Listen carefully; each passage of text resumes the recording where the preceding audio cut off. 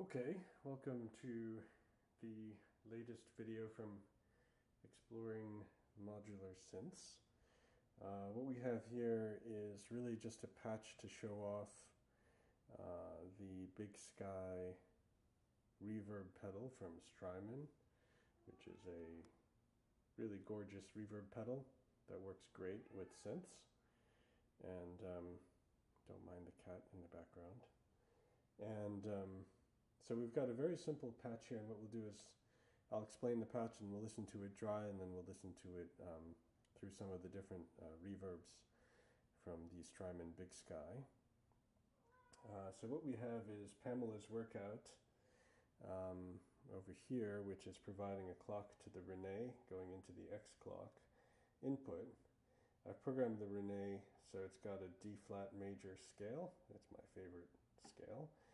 Um, and uh, the X gate is going out to peaks for an envelope, which is sending the envelope out to the Optomix. And the quantized CV is going to the oscillator, which is a shapeshifter, which is set to uh, chirp 17. Um, that's the type of um, sound. And that output is going to the Optomix, whose gate is being opened by the envelope coming from peaks. That's going into the Echophon, which is a delay module, um, and that's going to the outputs, and that's going to the Strymon Big Sky reverb. So if we just listen to the sequence, um, it sounds like this.